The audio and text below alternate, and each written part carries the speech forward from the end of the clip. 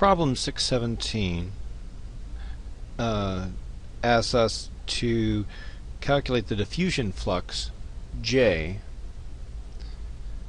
in a system of oxygen diffusing through low density polyethylene.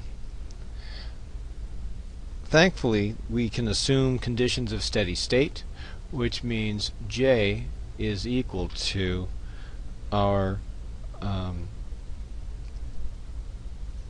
permeability coefficient, which is similar to our diffusion coefficient for metals, multiplied by the change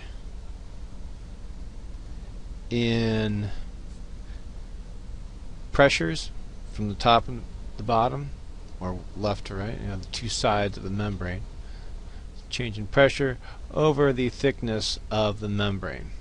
Since it's steady state, we can assume it's linear, uh, thus our deltas rather than a uh, differential.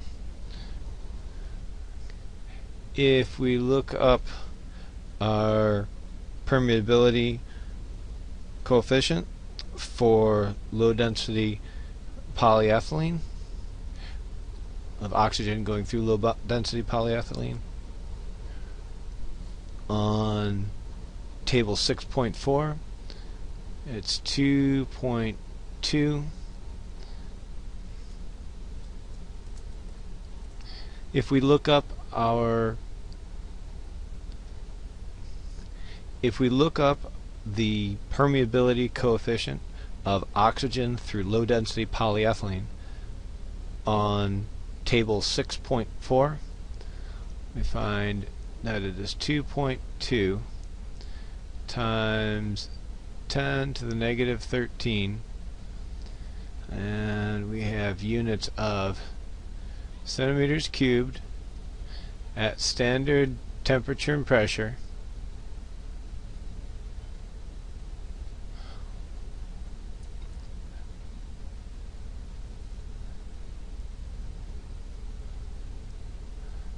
Centimeters over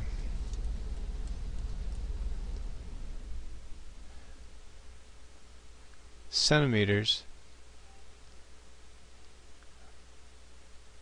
over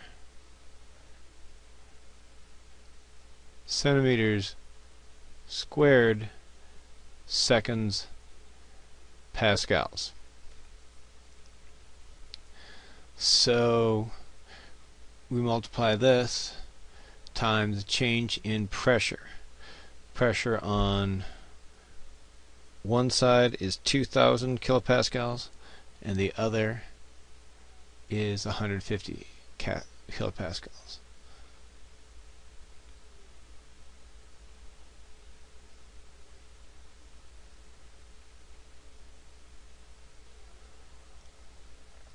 and that is all over the change in x which is a 15 millimeter thick piece of LDPE or 1.5 centimeters.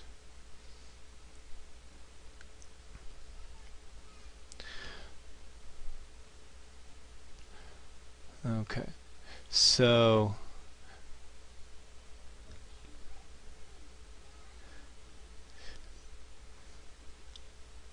this ends up as 2.2 times 10 to the negative 13th centimeters cubed at STP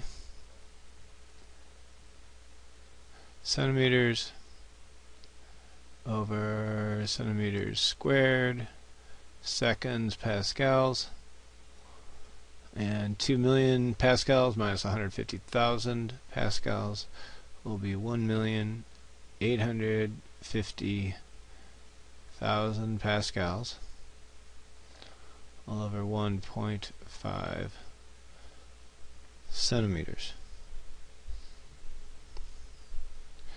So we can cancel out some of these units centimeters and centimeters, pascals, pascals. These all remain.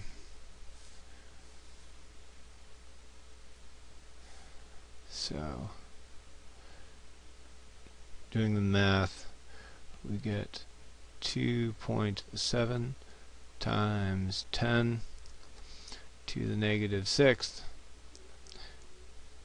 centimeters cubed STP over centimeters squared seconds. And that is our final answer.